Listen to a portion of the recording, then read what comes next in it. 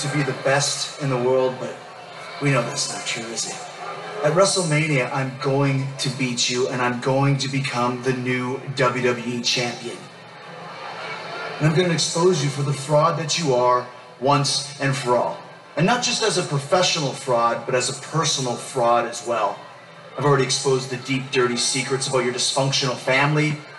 Your father is an alcoholic. And your sister?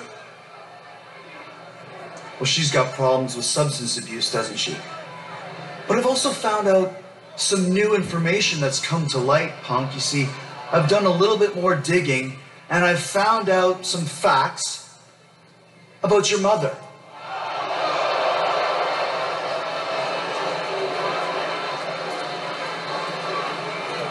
But it turns out your mother's actually a kind, decent woman with no vices whatsoever, so who'd have thunk that? Congratulations, punk. There's finally someone in your family who's not an embarrassment.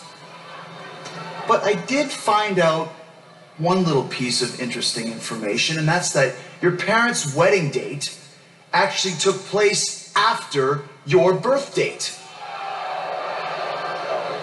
So that makes you the legal definition of a bastard.